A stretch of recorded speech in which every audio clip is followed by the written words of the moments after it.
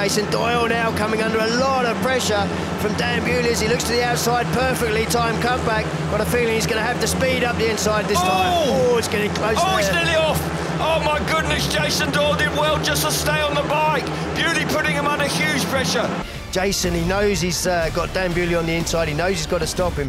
Turns the bike hard, almost turns it inside out, but uh, hangs on there.